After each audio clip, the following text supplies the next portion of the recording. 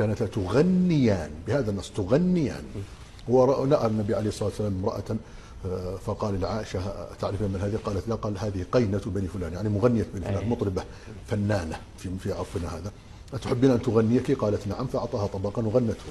وجاء النبي عليه الصلاة والسلام إلى إلى عرس وكانت المرأة تغني تضرب بالدف وتغني وتقول آه، وفينا نبي يعلم ما في غد. من إمام للحرم المكي إلى ممثل في هوليود شيء لا يصدق السعودية وعلماؤها إلى أين المسير؟ هل أصبحت أرض الحرمين الشريفين أرضا للهو واللعب والخمر والقمار والفسوق والفجور؟ أين ذهب علماء المملكة الذين صدحت أصواتهم في الآفاق؟ هل كانوا علماء للدين أم للدنيا؟ علماء السلطة والبلاط الملكي أم دعاة ربانيون؟ ما هذا التناقض العجيب. صورة قديمة للكلباني يؤم المصلين في الكعبة المشرفة وأخرى وقد صار ممثلا وواجهة دعائية لجماعة الترفيه. وهل يجيد الكلباني الغناء والرقص؟ الكلباني بين الدعوة والترفيه فما الذي يجري لعلماء السعودية؟ من هو الكلباني؟ اسمه الشيخ عادل بن سالم بن سعيد الكلباني وإمام جامع المحيسن بحي إشبيلية في شمال شرق الرياض وكلف بإمامة المصلين في صلاة التراويح من عام 1429 للهجرة. من شهر رمضان بالمسجد الحرام بمكة المكرمة. وعفي عن إمامة الحرم المكي بعد انتهاء تكليفه لإمامة المصلين خلال شهر رمضان. الكلباني هو داعية سعودي مثير للجدل بتحوله المثير من رجل الدين ذي الآراء والمواقف الجريئة إلى رجل الدين المقرب من بلاط الملوك والسلاطين. ذاع صيته بعد أن نشط في مواقع التواصل الاجتماعي وبعد ظهوره في القنوات الفضائية بمواقفه الجريئة ولجرأته الشديدة حين لقب في السعودية بقاصف الجبهات. وكان أبرز مواقفه هو كلامه عن ضعف الدين في هذا الزمن وعلاقة الحكام بالدين واستغلالهم له عند الاحتياج فقط. وإلى هنا لا زلت على الطريق السليم وعلى مبدئك كلباني الكلباني خرج مجددا وبرأ الإخوان المسلمين من الفكر الداعشي بعكس ما يقوله أمراء وملوك السعودية اللهم قو إيمانا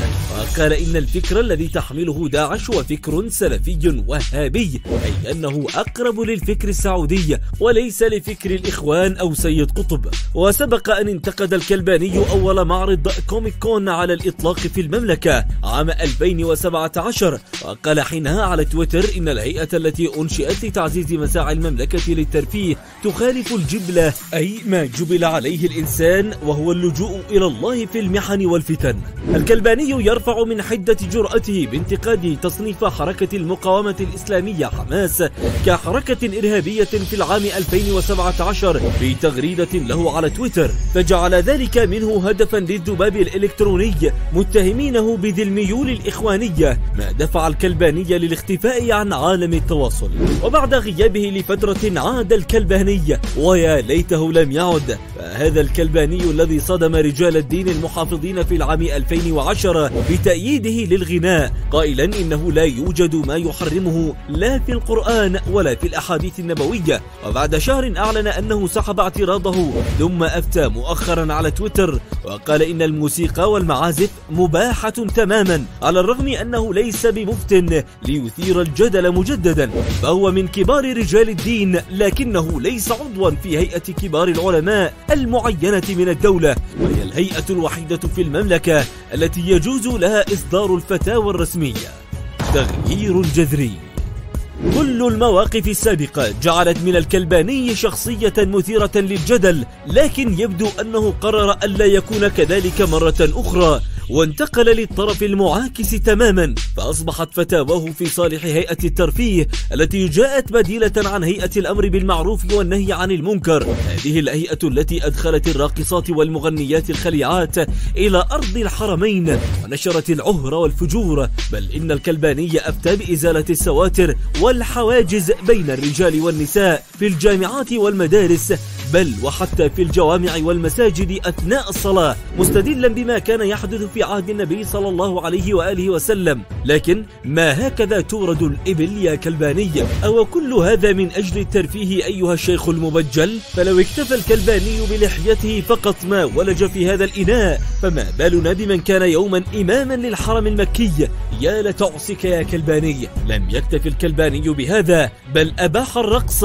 وزعم أن النبي صلى الله عليه وآله وسلم كان يستضيف الراقصات في منزله. وقال إن المرء مطالب بفعل ما يتقنه فإن أتقنت الرقص فارقص.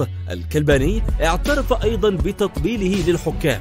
لكن كل ذلك في كفة وأن يصبح الكلباني ممثلا وجها دعائيا لهيئة الترفيه وأن يقوم بأنشطة صبيانية فهذا هو الجنون بذاته. فبدلا أن يختم الكلباني عمره في زوايا المساجد هو يظهر كلاعب بلوت وكومبارس في لعبة بلاي ستيشن يتساءل إن كان باستطاعته أن يكون يوما ما ممثلا في هوليوود بعد هذا العمر كله في الدعوة وإمامة المصلين ترغب في دخول السينما يا كلباني؟